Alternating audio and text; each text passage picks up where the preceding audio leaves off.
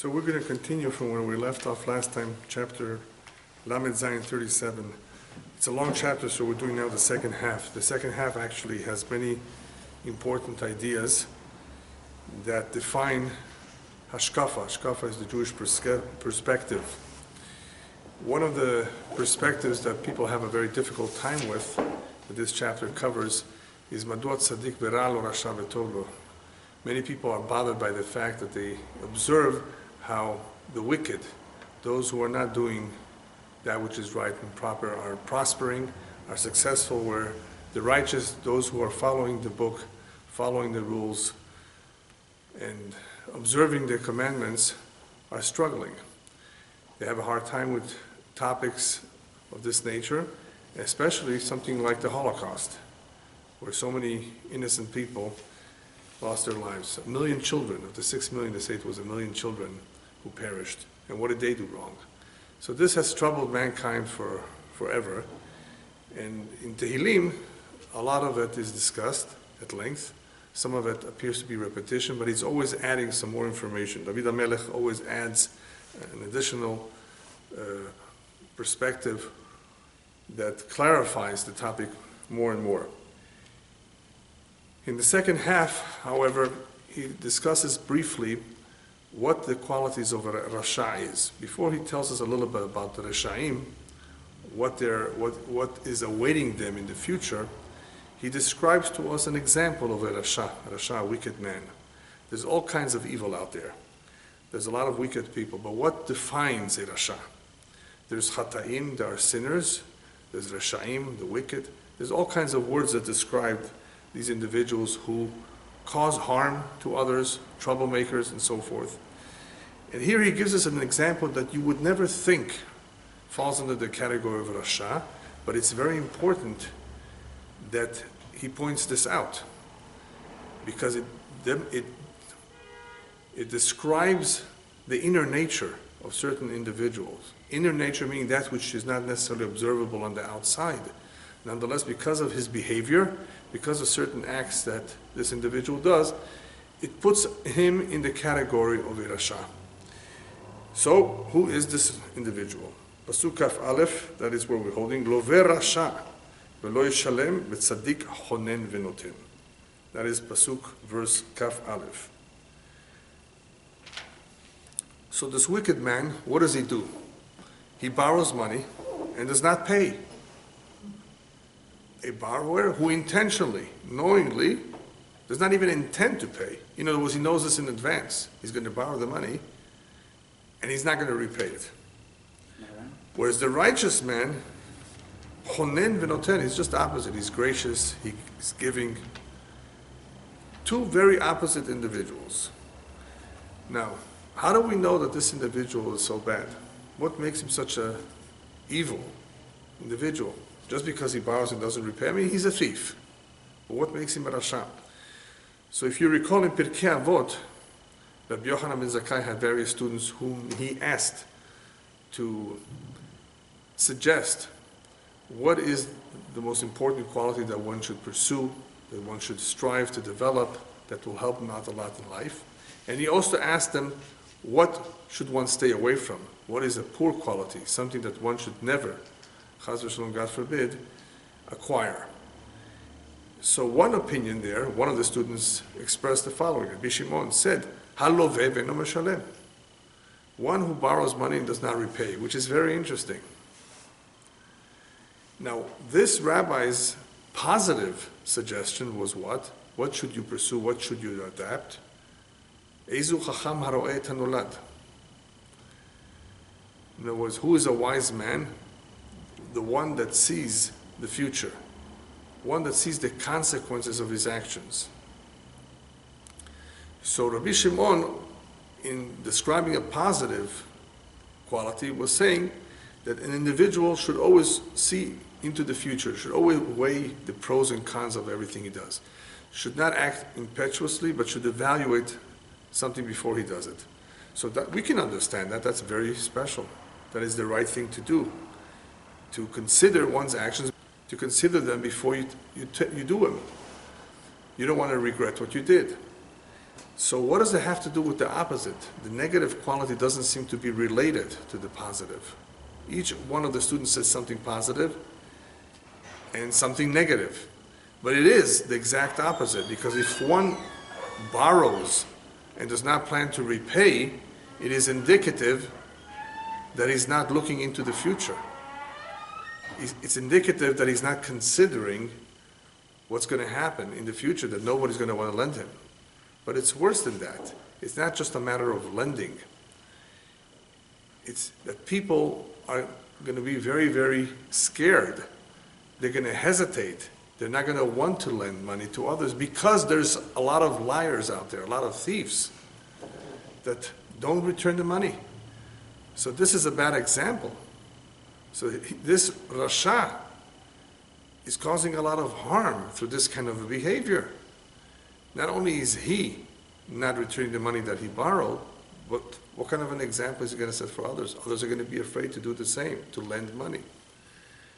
But why would he not want to return the money? Why do we classify him as a Rasha? What makes him a Rasha? Just because he takes money, somebody else's money, doesn't return it?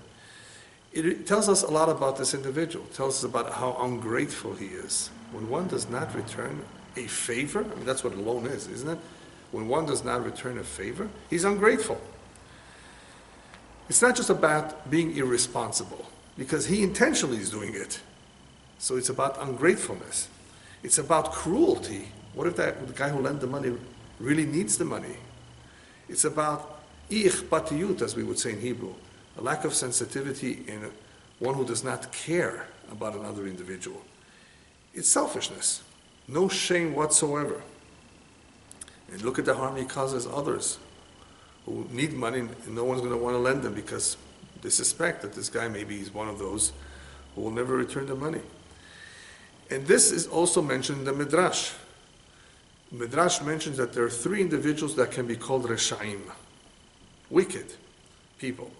One who, who hits, even if he didn't hit, he just raised his hand to hit another human being, is called Rasha. One who borrows and does not pay is in that list as well. He's called Rasha. And number three, one who's a Bal Machloket, one who's always picking a fight, always getting into arguments. Bal Machloket causing divisiveness, causing fights with people, instead of trying to find a compromise, a peaceful resolution to a problem. If he intentionally wants to stir up a Machloket, a fight, he's called Rasha. Anyway, so what is the root here of the problem? Why do people act this way? So we said they're selfish, but there's more to that. An individual who does not make a blessing, the rabbis tell us, before he eats something, does not appreciate what God has given him. It's like he's stealing from Hashem. So an individual who takes from others, it's the same idea. He does not understand that whatever Hashem gives, we have to appreciate. Whatever other people give us, we also need to appreciate. Appreciating that which we did not have, that we have now, is a very important midah. Without this basic midah of appreciating something, we think it's coming to us somehow. Appreciating helps us not to believe that something is coming to us. On the contrary, we feel indebted. Someone gave us something that perhaps we don't have the privilege, we don't have the merit of having. So somehow we're, we're supposed to be thankful, and we're supposed to communicate that to the individual when we say thank you, which is what a blessing is all about. When we make blessings, whether before we put something in their mouth or whether it's after, whether it's after we exit the restroom, all the different types of blessings we have is to show our appreciation, we don't take anything for granted. So therefore, one who lacks these characteristics, these qualities, is really, really behind. And it transforms him into a, a wicked person because he wants everything for himself. Whereas the tzaddik is just the opposite. The righteous man, not only does he give back what he took, he gives on his own, he's generous. It's not only about giving back what you took, which is obviously something that's expected of you, but he's chonen, he's gracious, he's generous, he empathizes with those who, who need help, he's sensitive, and therefore he gives of himself. My father told me a story that happened when he was a young boy. There was an individual who owed my grandfather money. And whenever my grandfather would see him and would ask him, So, when are you going to pay back the debt? He would always say he doesn't have. He doesn't have any money. So one time my grandfather asked his kids, they were children, so what do you say? What should I do? Do you believe him? So they said, well, if he says he doesn't have money, he doesn't have the money. Yes, he probably doesn't have the money. He says, no, there's no such thing. If you really want to repay a loan and you're sincere, you pay back one dollar a week. You whatever you can. If you're never making any effort whatsoever to pay back even a small amount, that's indicative that you don't want to repay back the loan. Not that you don't have. There's no such a thing that you don't have anything. Nothing whatsoever. How do you live? How do you survive? You can afford something, according to your means, of course, according to your abilities. Not to return anything, not to make an effort, not to try even a little bit, that is a sign that this man is lying. He's not planning on returning the money. And I have some, some bad news for you. There's a lot of people like that, unfortunately. Be careful. Yeah, unfortunately, you can't just trust anyone. So, what's going to be? No one's going to ever be able to get a loan. My rule of thumb is, and this is taken from Mishlei, which we've covered several years ago. Solomon advises listen, never put yourself in a situation that you're going to regret. So, never give more money than what you're willing to forfeit. If you can live with the loss, then go ahead and give it. Nothing's going to happen. But if it's, if it's going to give you a heart attack, the day you hear that your money is not coming back, then don't do it, regardless of who that individual is. It makes no difference. If you think that there's a 50 50 chance that the money is not coming back, unless you're willing to consider it charity and forget about it, then don't give it. There's no obligation to take risks in life. The Torah doesn't tell you to take a risk. On the contrary, the halakha says, make sure there are witnesses. You better have witnesses, otherwise you are at fault. You better sign a contract. No matter who this man is, no matter how many times he's giving you back the money, maybe he's going to die, and the children won't know anything about it. You always want to be on the safe side. Next pasuk. כי מבורכיו ירשו הארץ ומקולליו יכרתו. Those that are blessed by Hashem will inherit the land, will inherit the earth, and those who are cursed will be cut off. What is he adding over here? He's telling us that the ma'asim, it is the deeds of a person that cause him to be blessed by Hashem, or the opposite, God forbid. It's the deeds. A blessing has to do with deeds. There is something called mazal. There is something called fate or destiny, or in Farsi, qismat, yeah, that you are born with, that you have from the time of birth, that may have something to do with the previous lifetime. So an individual comes back in a reincarnation, there's some connection to a previous life. He may be in a good mazal, nothing to do with his deeds. Regardless, he could be an evil man, but he has good mazal. He could be a righteous man, but the mazal is, is a mazal of struggle. Mazal is what pretty much dictates a great deal of our life, except for the area where we have free will. There is an area of free will, and that is whether one will be righteous or not, or sinful. Do a good deed or do a bad deed. When it comes to bad and good, that's where free will reigns. When it comes to who you marry, what kind of kids you have, what kind of a livelihood you will have, all of this is part of the mazal. And that we don't have too much control over. Even though we do have a tradition that one can change his mazal through repentance, through prayer, charity. Yes, there are times when one succeeds in doing that. But otherwise, a great deal of our life is controlled by the mazal. But here David HaMelech reminds us that blessings, blessing is not something that comes with the baby. You know, he hasn't done anything yet to deserve a blessing. Unless it could be there are times where the father is blessed, and we will soon see that too. And that blessing transfers over to his children and grandchildren. That does exist. A real blessing actually can last for many, many generations. But simply stated, a blessing is something that one earned through something special that he did. something very special. And that's what David HaMelech says, that when it comes to Berachot, ki mevorachav they will inherit the land. In other words, they will be established. They will have tranquility and peace of mind. That's what that means. And those, God forbid, who are cursed, yikaretu, in the end, they will be cut off. Why is he telling that to us? And we already know that from before. But he's reminding us that you're only seeing a piece of history or a piece of an individual's life. You haven't seen his entire life. He may be okay now. Well, what, what's going to happen 30 years from now? You may not be around to see it. But uh, David Melech reassures us someone who's evil, the curse will eventually catch up with them. Yikaretu, they will be cut off. Nothing lasts forever. Unless it's a blessing. A blessing can last, can last for a long time. So the real individuals who are, the, the, the ones who are blessed from Hashem, they will inherit the land. Next pasuk, very important concept, and this has a little bit to do with what we just said. The steps of man are directed by Hashem. Mitzadei, the steps that he takes, the path that he, he takes. It's all directed from Hashem, from God. Darko. God desires his way. God planned it out like that. That's the way he wishes it to be. What steps are we talking about? Well, if you had to end up going to a particular city, if you had to take a certain job, if you had to meet someone, that path, that journey is from Shamayim. You usually take the 101 freeway, and for some reason you don't know, but this morning you took the 405. That's from Shamayim. It could be directed, directly connected to one's mazal too. Or it could be that that morning, through divine providence, through Hashgacha Pratit, Hashem says, you know what, I'm going to make it that you avoid a potential danger or an accident, and therefore I put it into your mind to take a different route. So we think we're deciding, that's not our decision.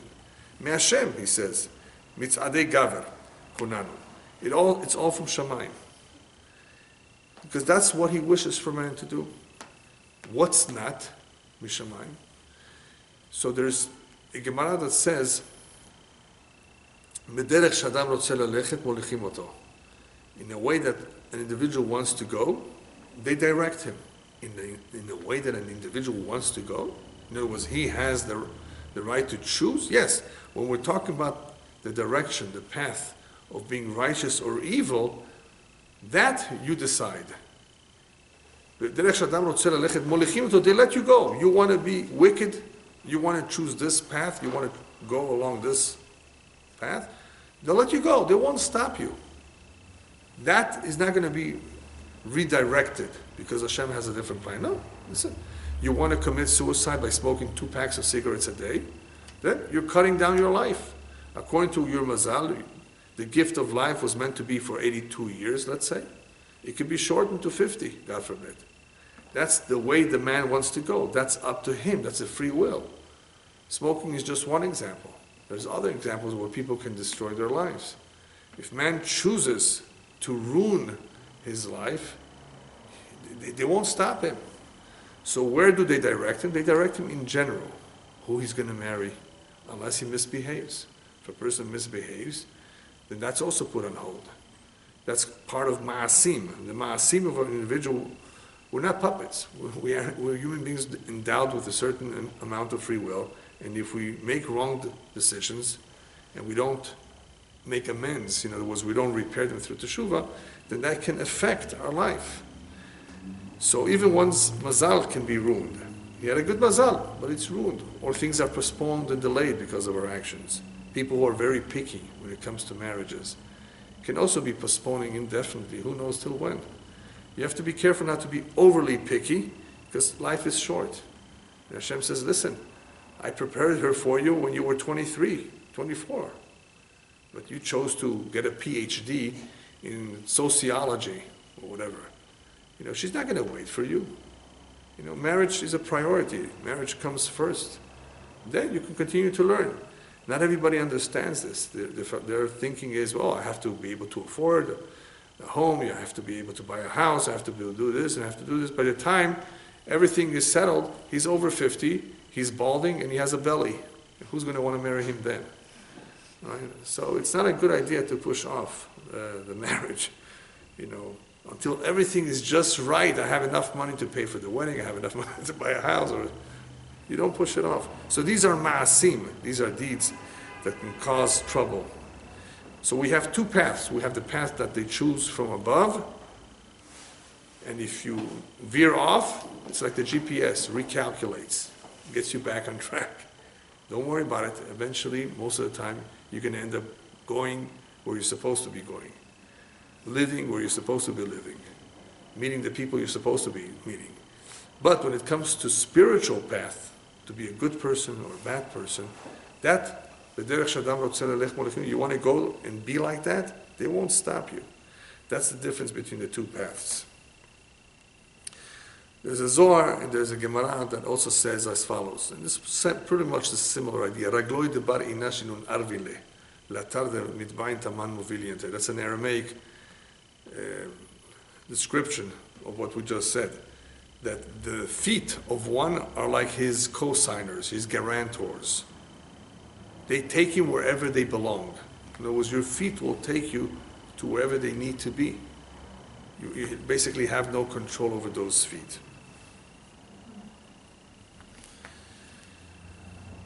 Another idea, however, behind the last few words here, v'darko yechpatz, that Hashem desires that way. What does it mean that Hashem desires that way? Even though the path appears to us to be something that is difficult, something that doesn't make too much sense to us, we don't, we don't understand why we ended up going in a certain direction. Just remember, Hashem willed it so. He wants it. You know, it's not that it's random, it's not that it, there was a mistake here. Hashem yachpatz. Hashem wants certain things to be in a certain way. So as long as, as long as you're doing everything right, for example, and your soulmate hasn't arrived, that's because he chose not to send her yet, or not to send him. If you're doing everything right, it just could be that the time hasn't come yet. That's what he wants.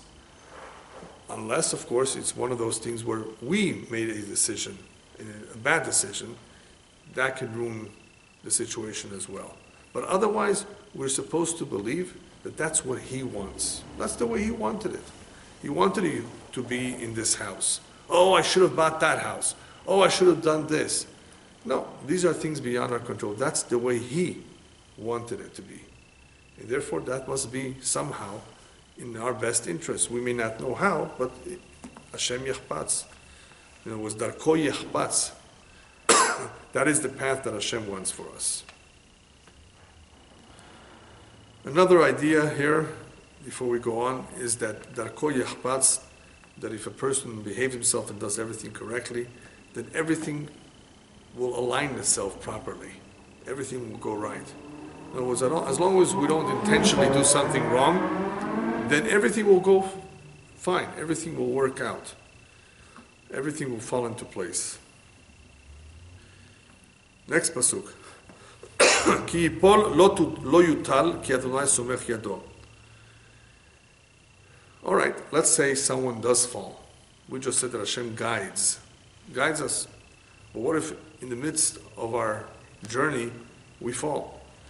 So he says that when a person appears to be falling, he will not be thrown down completely. כי יפול לא יוטל. Hashem will hold on to his hand and will not make him fall completely. This is seen many, many times in life when people were on the, as they say in English, on the brink of disaster. It could be an illness, the cancer, chas v'shalom, God forbid, that everybody gave up on them. Hashem says, I don't know what you guys are thinking, but he's supposed to be around for another 20 years. And sure enough, after a while, the illness goes away, and he's fine, as though he never had anything. There have been countless stories like that. So ki pol, whether it's financial or an illness, lo yutal, not necessarily will that person fall all the way. Ki Hashem Hashem is holding on to him.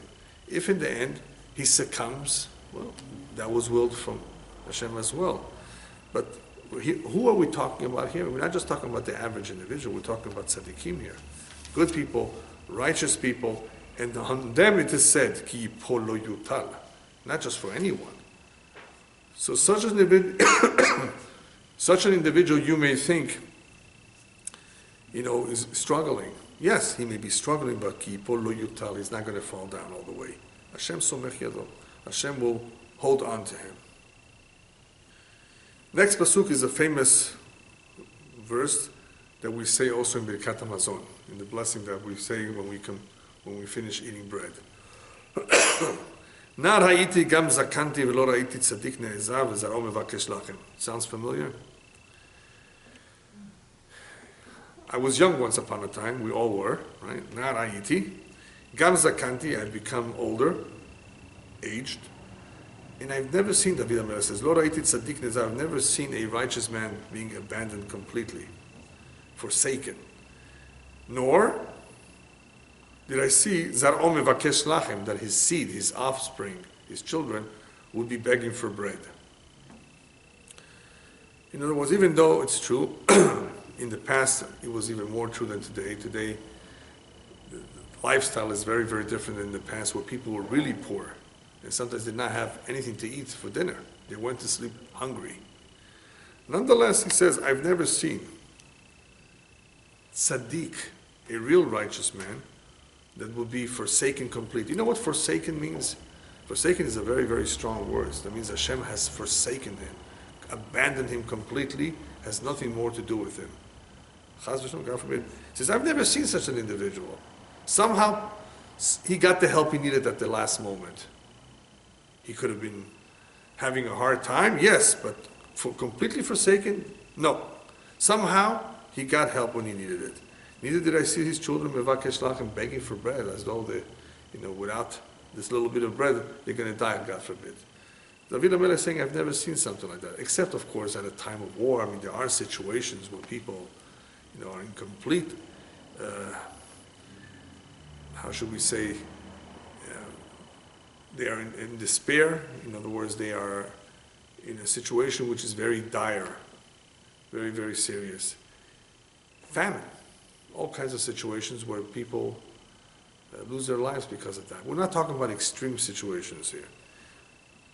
He says, in general, you may see someone struggling if he's a real tzaddik.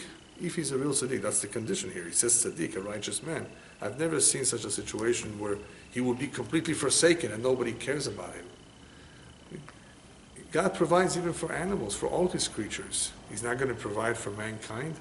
As man is the, the crown of his creation the most special creature of all. Unless this man misbehaves, of course. That is when we see a lack of rain, we see trouble, problems, earthquakes, and the like. But otherwise, a tzaddik, a real tzaddik. We don't even know what a real tzaddik is yet. We've learned a little bit about what a rasha is, what a wicked man is. But what about a tzaddik? We'll see soon. It's not just about being righteous and good and kind. There's more to it.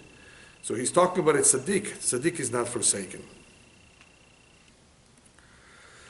one can add that perhaps he's also saying, when he adds the words that neither did I see his children begging for bread, that as a result of a tzaddik's ma'asim, as a result of his righteous deeds, his children inherit that merit, and therefore they won't necessarily suffer in the merit of their father. So in the merit of its tzaddik, his children do well as in other words, the baracha continues along with them as well. The next pasuk, also very interesting, and I think it ties in very well with the saying in various languages that goes something like this. The shoemaker's children run barefoot. Have you heard of that? Yeah. Uh, there's similar sayings in other languages. You know, somehow, even though he makes shoes for everybody, his own children don't have. It turns out that many, many times teachers, rabbis, are so busy and are so involved with the community that they may not have that same time that they're giving to others for their own family members. So, what would you think that here they're giving so much of themselves to others, and the home will be deprived of the attention that his own children need? And they will suffer God forbid. But the answer is no. One who gives to others, the Khatam Sofer, blessed memory, says this in one of his books, I think in an introduction. He mentions this pasuk. You may think that one who does for others and gives so much of his time and attention to others, to help others, and as a result of that, his kids are being left out. You may think that his kids will really be left out. No. This pasuk fits in beautifully with what will happen. Pasuk Vav. Kol hayom chonenu malveh. If a person all day long is kind and lends money, in other words, gives the attention to others, his offspring are going to be a blessing. In other words, his offspring, his children will not suffer as a result of that. If he's kind and giving to others, giving all that time and help to others, his children will not be barefoot. No. His children will not be lacking just because he took the time to give to others. Hashem will somehow take care of them. They will grow up to be good kids. This does not exempt one from doing zero for his kids. Obviously, you have to do whatever you can to educate, to raise. Parents have a certain responsibility, of course. But in case, for some reason, it was left out because he gave to others, no. His children will be a blessing. Next pasuk. Sur mera va'aseh tov u'shchon le'olam. This is a pasuk that we saw before, similar, that there's two requirements to be a good person, to be a tzaddik. If you want to strive to do the right thing, it requires first sur mera. Sur mera means stay away. Stay away from doing that which is evil. And do good. Let's say somebody just does good, but he still does evil too. No. It cannot be. They're incompatible. It's a contradiction. To really be a good person, there can be no evil. It's not that person is a Robin Hood. You know, he takes from some and gives to others. It's not that he's charitable, but he also lies. You, can't. You have to stay away from that which is ra and do good. To be a, a complete tzaddik, a completely righteous person, involves both steps. First sur merah, to control your, your bad habits, to rein them in, and to do good. Then, ushchol le'olam. Shchol le'olam, means, and then you will dwell in peace forever. And was then you will have a certain sense of completeness, where you are, we have a certain self-control. When a person has a self-control, that means that he is in control of his evil inclination. He is the master, not the slave. Therefore, he has that tranquility, that peace of mind. When one is a slave of the Yetzer of the evil inclination, means that he has not controlled himself, whether it's in anger or stinginess or whatever it may be, then he's a slave. And he, he still has the Ra in him. He's incomplete. He's pagum, in a sense, he's like defective. There's something not complete in him. So, in order to think of a diet, it's not that you are on a diet a whole day, but at night you cheat. Or in the weekends you cheat. I mean, it doesn't really work well like that. Either you are or you're not in a diet. So it has to be surmira. You have to control that which is harmful, that which is not good for your soul or for your body, and aseto, and then shchon leolam. Then you can rest in peace. Rest in peace meaning that you can have that tranquility or that completeness that you are striving to get. he goes on to describe a tzaddik now. What makes a tzaddik a tzaddik? כי אדוני אוהב משפט ולא יעזוב את חסידיו לעולם נשמרו, וזרע רשעים נכרת. What does Hashem like? What does Hashem look for? He looks for, he looks for mishpat. He loves justice. So he will not abandon those who are pious, the chasidav. Le'olam nishmaru, he will always protect them what are we talking about when we say protection? We're talking about Hashgacha Pratit, we're talking about divine providence. They have, they're accorded a special Shemirah, special protection. Not everyone, not everyone gets that special protection. Who does? One who is Ohev Mishpat. Since God loves justice, one who is just, one who's upright, one who is fair, it's all included in Mishpat. With others, Hashem offers him special protection. He does not abandon those who are pious. What's pious? What is pious? What, what makes someone a pious person? Anybody know? Rabbis introduced to us the term lifnim mishurat hadin. You know, was doing something beyond one's duty, more than what you have to do. Chassid, being extra careful, being more giving than the average, that's called a chassid. Being extra careful. So here we have an, a situation where a person loves to do the right thing. He wants to, to do which, that which is right in the eyes of Hashem, that which is mishpat, that which is correct. That's the exact opposite of a Rasha, who doesn't care about what the rules are. He has his own rules. He breaks others' rules. So he says, Hashem ohev mishpat. Hashem loves the fact that an individual wants to abide by the, by the rules and is disciplined and does what is correct, not what he wants. And therefore, he will not abandon his chassidav, those who are pious. He will always offer them that special protection. Whereas vezera rashaim nichrat, those who are the children of the wicked will be cut off. In other words, they will not have that kind of a protection. So if you don't have that kind of protection, anything can happen. God forbid if somebody is involved in an accident. You want all the shemirah possible, all the protection that you can. One who's at war. The rabbis tell us not everybody wanted to go out to war if they sensed they had some sins. And those sins will accuse them at time of danger because when you are in a dangerous situation, the books are open and they are examined. Should we perform a miracle on his behalf? Should we protect him? Should we save him? So there's a big difference between one who's Ohev Mishpat, a Hasid, and those that are Reshaim, whether they will live through it or not, whether they will be given that protection. I think the Zohar, I think the Zohar says that this pasuk is talking about Yosef. Yosef was thrown into jail, and it was a whole bunch of lies. It doesn't appear that he deserved it, right? Even though everything's mishamayim.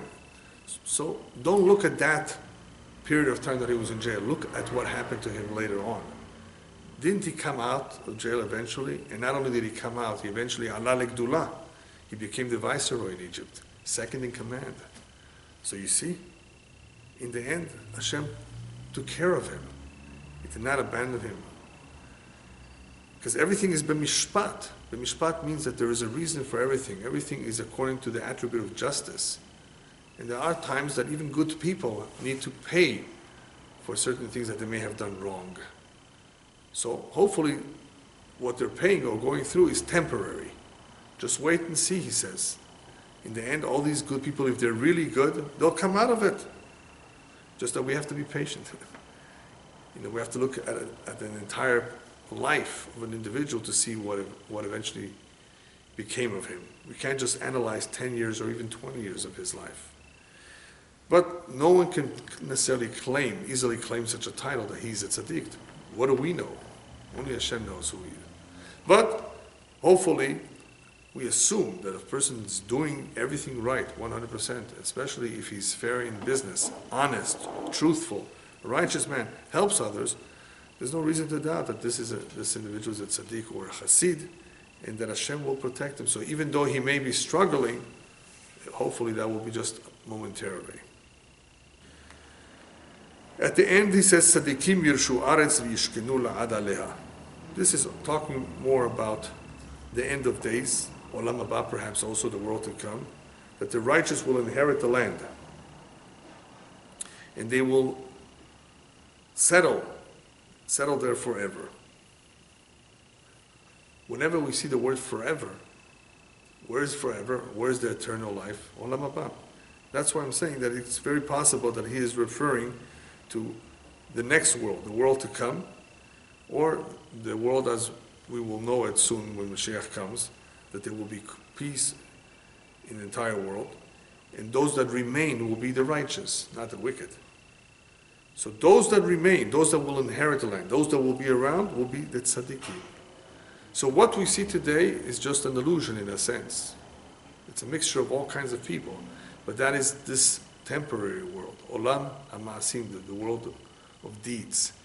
When we come to the Olam of Tikkun, Olam that already has a Tikkun, that everything has been repaired, Mashiach has come, where the evil inclination is banished completely, then obviously it would be a different kind of world where whoever remains is one who deserves to enjoy the world to come. Whether it's the number of years that remain from the 6,000 years, which is this physical world, or whether it's what comes after that, the eternal world, Olam Haba. Who will remain? The tzaddikim. Next, tzaddik yahgeh chokhmah ulshonot tedaber mishpat. Continue on to talk about a tzaddik. A tzaddik is not one, only one who is complete in himself. He has worked hard to be who he is, but also one who preaches about it and teaches it to others. You don't just don't want to keep it to yourself. The mouth of a tzaddik utters wisdom, knowledge.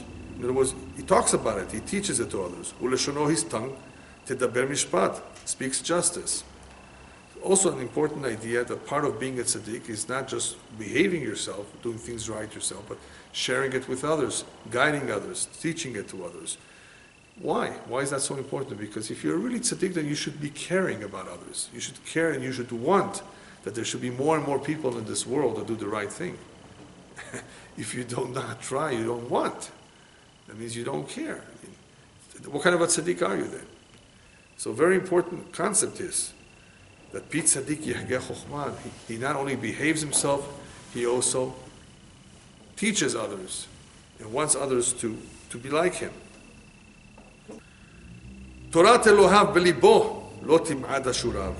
Beautiful pasuk that a real tzaddik has the Torah of his God in his heart. And therefore, all his steps that he takes do not falter. In his heart? What does that mean? It's what we would call in English genuine, a genuine person, sincere person, not a faker at all. He's so real that the Torah is in his heart.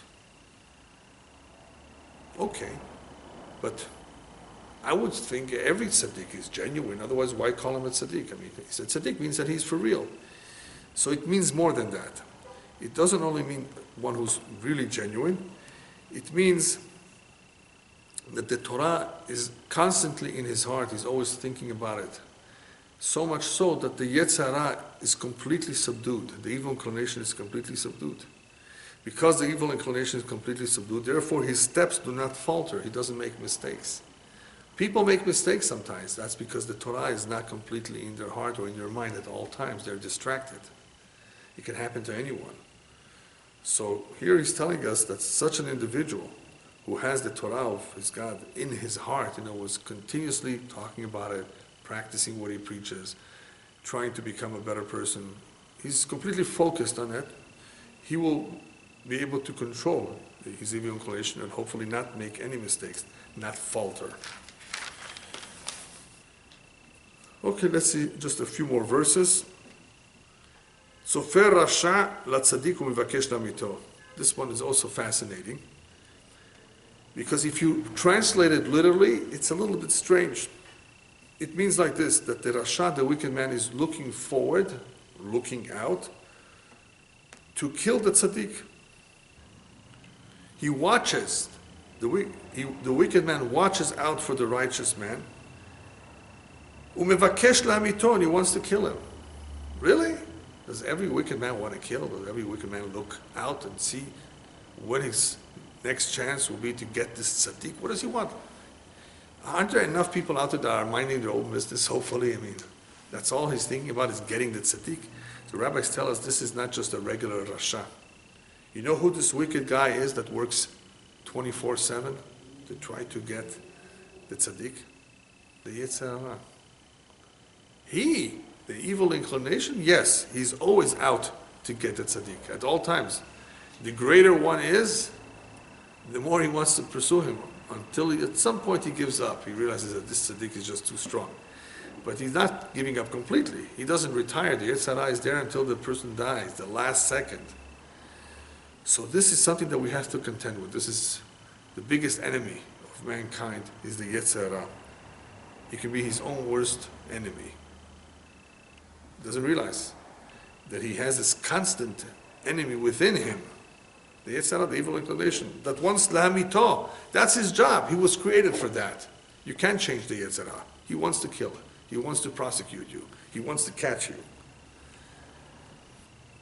But we're talking about a tzaddik now. So a tzaddik has proven himself to be a good person, a good soldier, right? He's devout, he's sincere. Then Hashem is just going to let that Yetzer Hara do whatever he wants? No, no, no. Adonai lo b'yishafeto. That's the next pasuk. It's a continuation in a sense. That Hashem will not abandon him in his hand, will not let the Yetzer Hara trick him, catch him, nor will he condemn him when he is judged later on. So what does this mean? Rabbis tell us a very important idea that one who's mezakeh harabim, one that helps others do mitzvot, he will not go to Gehenna so easily. He will not come to sin so easily. Why? Because it's not fair that his students, those that he was mekarev, those that he brought back, those that he strengthened and taught, they should be in Gan Eden in paradise and he should be in Gehenna for having committed a sin. It doesn't seem right. He's helped so many people. Just because he made a mistake, Hashem says, no, no, no. I'm not going to let him make such a mistake where he will end up because of that mistake in Gehenna. I will therefore protect him. He doesn't deserve to make a mistake. He doesn't deserve to commit a sin unintentionally. So that's the idea over here. Hashem lo In other words, you won't later on judge him. You won't condemn him. What does that mean? It means that he, he won't allow him to ever get to that point where he now has to judge him for what he did wrong. He's a tzaddik. He's trying to do his best. If a person is not careful, Hashem says, listen, you're not careful, I'm not going to protect you. I'm only going to protect those who, who watch out themselves. They watch out themselves, but you can trip sometimes. Sometimes we do things unintentionally because we weren't looking. Hashem protects. But if one does not protect himself, does not take any measures to protect himself, just doesn't care, goes to all kinds of places which are very unclean, and sees all kinds of things that are not proper to be seen, what do you expect? That Hashem should close his eyes, that Hashem should pretend. He's doing it to himself. But if he's a tzaddik, he's really trying his best, then Hashem will not let him fall in the hands of the Yetzer Hara, will not let him come to this situation where he will later have to be accused of doing a wrong. Very important idea. How much protection is accorded to tzaddikim. And another saying by the rabbis also applies here that Hashem will never give you a load that you can't carry. If he gave you a load, if he gave you a particular struggle, a job which is complicated and difficult to do, it's because he knows you can handle it. He will never demand of you something that you cannot possibly do. There's no reason for him to do that for you. So therefore, if something is too much, Hashem will get involved and not allow it to happen. Otherwise, you know, we would never succeed. There's so much we can handle. Hashem knows exactly how much each individual can handle, and that's how much He gives him. That's how much of a challenge He will give him. Next pasuk, Kave el Adonai shmor darko, v'iromimcha lareshet aretz b'ikaret reshaim tireh. Hope in Hashem, Kavel Hashem.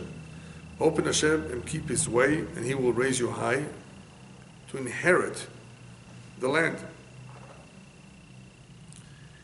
When the wicked are cut off, you shall see. Very long pasuk, and he's telling us that there's something very, very special about kaveh, hope. Sometimes a tzaddik is in trouble, for whatever reason. What will get him out of this trouble is kaveh, is hope. He's not lost hope in Hashem. He still trusts in Him. He doesn't second guess God. He doesn't complain. Just the kaveh alone can be very powerful. It's a form of prayer, but it's more than prayer. It's not just praying to God. It's not just talking to Him. He's really hoping and he's really trusting that everything is for the good. Everything will come out right. This kaveh el Hashem is therefore very important. If after all, even though you are righteous, still something happened, it could happen even to the best, and you're in prison, or ill, chaz or some other trouble, just don't lose your hope. Don't lose your trust in Him. Still continue to observe the mitzvot. A lot of people came from the Holocaust to this country and they dropped everything. Says, where was God? I don't know if He's still around. They lost their hope, they lost their trust, they lost that connection. We can't blame them. We don't know what we would do if they, nobody's here to blame anyone. I'm just trying to point out a fact that many people were not strong enough to be able to understand that this was a challenge, that this was a terrible decree, eventually we will come out of it. And they did. They survived. Don't you? Why not? Why not look at the fact that you survived? Isn't that a miracle that God protected you, even though not everybody made it? They were focusing on the negative instead of the positive. Look at yourself. You survived. Be thankful. God watched over you. And everyone who survived the Holocaust, we have a tradition that two angels watched over him at all times. So this is not something to take lightly. So you have complaints? You survived. But anyway, people react differently to all kinds of pressures. And when it comes to something like the Holocaust, it was a very powerful storm and what they saw with their own physical eyes was so terrible that, you know, we can't understand what they went through. But still, they, they made the decision to drop everything. They didn't have to. They should be full of hope. To continue, Shmor Darko, to observe his commandments, and if you do so, after all, and despite the difficulties, Viromimcha, he will at the end elevate you to inherit the land. It was to, to settle down. And you will perhaps even merit Behikaret Reshaim Tir'eh. You will see with your own eyes how they will be cut off, the wicked ones. Because many times we don't see it. When did we see it? Today we can even see it uh, because it's recorded. There's recorded media of the Nuremberg trials, which fits in with the next pasuk. You know who was tried in Nuremberg? The biggest Nazis, right? And that's what the next pasuk talks about. Ra'iti rasha aritz. He says, I've seen very powerful, wicked people. Not just wicked people, but they were powerful in high positions. Well, what could happen to him? He says, I, I saw wicked people who were very powerful, and they were so powerful, they were like umit arek ezrach ra'anan.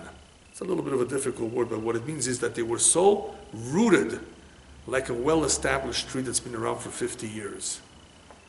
Gezrach Ra'anan means like a fresh, strong tree that's already been there for a long time. It's roots, deep roots. So I've seen wicked, powerful people who are very, in English they would say very well placed, right? And you know what happened? And just not too much after i saw, I saw them, they vanished. And I looked for him, and he's not to be seen. So I began to tell you about Nuremberg. These guys were in high positions. They controlled tremendous amount. They held tremendous amount of power. They wanted to conquer the world. They almost conquered all of Europe. And what would you think of them? Oh, they're going to stay like that in that position? Uh, just a couple years. It was only a couple years. But no one would know of it from the beginning. Powerful Reshaim. They're judged in Nuremberg. Many of them were hanged. That's what he says. This repeated itself many, many times throughout history, where people who may have been in the highest and most powerful positions at the end, when you looked around, he's gone. in all kinds of ways, they were gone. There are many, many examples like that. People that be, became sick all of a sudden, people that were toppled, assassinated, overthrown. I mean, incredible. It's so funny, but people don't read history. You don't understand that history repeats itself over and over again. Pasuk Lamed Zayin, Shmor tam yashar ki shalom. Watch for the innocent. Observe those who are upright. These are the ones you want to look at they're not going to vanish. If, if there's anybody to look for, anybody to look at the innocent, the upright people, the good people. To these people, you will see that the future is of peace.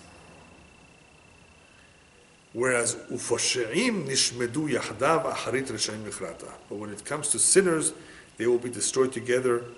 The future of the wicked will be cut off. So if you follow the Hebrew, you may actually have some fun with this, because even though there are synonyms, synonyms meaning similar words, they really mean a little bit differently. They don't have the exact same meaning. Here we have posheim and we have reshaim. We have sinners and the wicked. Anybody know what the difference between wicked and sinners is? I mean, they sound like the same, but they're not. Why not just lump them into one word? He's saying that the posheim, which are the sinners, nishmedu, will be destroyed together. In Ahrit Reshaim, the end of the wicked, didn't say sinners, will be cut off. So, what's the difference between the wicked, the sinners? What does it mean to be destroyed together? The first part of the pasuk talks about poshaim nishmedu yachdav. There are times when the sinners will be destroyed together. Destroyed happens at once. Destruction, complete destruction, no time to reflect, all of a sudden they're gone. Acharit Reshaim, the end. What does the end mean? The end means that it's being prolonged, it's being postponed. It's only the end of the life of the wicked is to be cut off, not to be destroyed. If you analyze it a little bit deeper, you will see that what this is referencing is a situation where sometimes Hashem gives a rasha, a chance. I'll give you 20 years. Why? Why would a rasha get 20 years? Take him away right away. You don't know, you don't realize that this guy may eventually do teshuvah, first of all. Hashem doesn't want to just kill people. As the prophet says, I would rather they return to me than kill them. Hashem knows that there's a chance that he will return and he lets him. Or it could be that one of his children will be a righteous man, yet to be born. So why take him before that child is born? Hashem knows all these things. We don't know. We don't understand his ways. But I just gave you a couple examples of why Hashem may allow Reshaim to continue to living. And in the end, of course, if they don't correct their ways, Harit, the end will be that they will be cut off. Either here or in the world to come. In other words, they will not succeed for too long. There are times, however, pushim nishmedu yachdav, together in war, completely destroyed and others not so far, others not so fast. It may take more time, but there's a reason for that.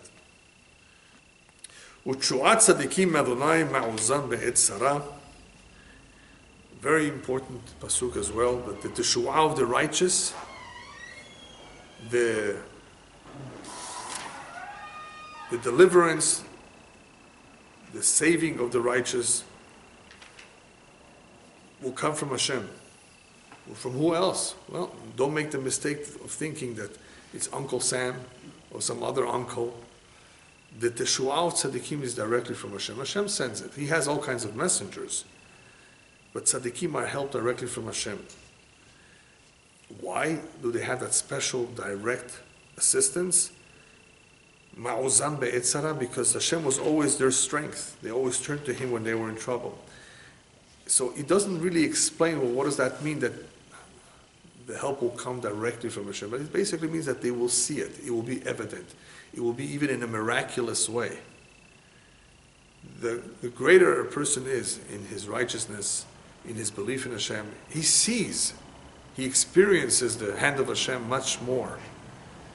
That's because it's all proportionate to how much one believes. The more emunah and bitachon that one has, the more faith and trust in one has in Hashem. We've explained that various times. The, the clearer it will be to him that he's being helped from above. It couldn't be any other way. Not, how did this happen? All of a sudden, when things were so bleak, all of a sudden a miracle occurred. No, because they trust in Hashem, they see it more with greater clarity. And the last pasuk of the Perek, ויעזרם אדוני ויפלטם יפלטם רשעים ויושיעם כי חסו בו. And Hashem will help them and deliver them. He delivers them from the wicked. He saves them from those who are wicked. And He will save them because they have put their trust in Him. So interesting here that He tells us the word faletim. By faletim means to deliver them or to save them, but in, not in a regular way of saving an individual, but more in a way of him avoiding the trouble to begin with. There's a big difference between, imagine being on a plane, the plane crashes, and the guy survives, versus, oh, I missed the flight. I got caught up in traffic. Which one is better? Huh? The miracle of the plane crashing and individual staying alive is a bigger miracle, but the better miracle is not having to be on the plane to begin with, the trauma. That's called vayifaletim. In other words, he makes them avoid. That's a higher level. To avoid the potential trouble. In other words, because when there is midat adin, according to our tradition, when there's midat adin, the attribute of justice is very, very powerful. And many people are dying of the bubonic plague, for example. Something that's, that's affecting a lot of people, millions of people. Hashem has to make here a plita. In other words, I have to make him run away from this, to, for him to avoid this. To make him be there and nothing happens to him is too big of a miracle. So Hashem sends him out of town just in time. See what I mean? So midat adin, the attribute of justice, the angel of death should not c- c- catch on to him. And he will also make them be saved from the hands of the too, the Yoshi'im. In other words, either to be directly saved from the Rasha's hands, and unfortunately throughout history, there were many Rashaim, many kinds of troubles, the kings, dictators, where the Jew needed to be saved directly from that Rasha. Or it was a matter of avoiding the situation altogether. Anyway, so he ends up the Perek that the reason why the tzaddik was given this kind of protection of being able to avoid all the troubles, all the misery, all the, the or the calamity, whatever it may be, is ki hasuvo, because they trusted in him. Once again, we're given that word, even though hasu is a slightly different word than bitachon, one means to rely, one means to trust. They're very similar. The, the idea is still the same. When you put your trust in Hashem, you will see open miracles. That uh, Hashem will make it that you avoid altogether the dangers that others would have faced otherwise. So this is an extra merit. There's a lot of tzaddikim. There's a lot of good people out there. What makes the difference sometimes between one tzaddik and another is that one has a greater bitachon, greater trust in Hashem, and that can make a world of a difference on him avoiding the trouble to begin with. The segula of this perek, every perek, every chapter in Tehillim has a special segula, special power of protection. This chapter, as well as many other chapters, is for any situation which is difficult, any kind of a struggle, any kind of a problem. This perek can be said. But it's also interesting that this perek is also used to help somebody who's drunk. Believe it or not, yeah. It's brought down that this chapter, this particular chapter, can be very helpful to get him out of that. So, regardless of the situation, uh, when somebody is in some sort of problem, when someone is in some sort of trouble, there are various perakim to be said, and as I've said many, many times, reading Tehillim on a regular basis, not necessarily one particular specific chapter, is already tremendous help of protection for the individual, and as a prayer, if somebody's already in a, in a big problem, to be able to get out of it. Tehillim is very concentrated, very, very powerful prayers. The problem is people read it, they don't even understand what they're saying. It's okay, but if they understood it, it would be so much better because they would be uplifted. They would not only get this protection from Hashem, they would feel so much better. They would be more confident. And Bezat Hashem, their trust in Hashem will also become stronger.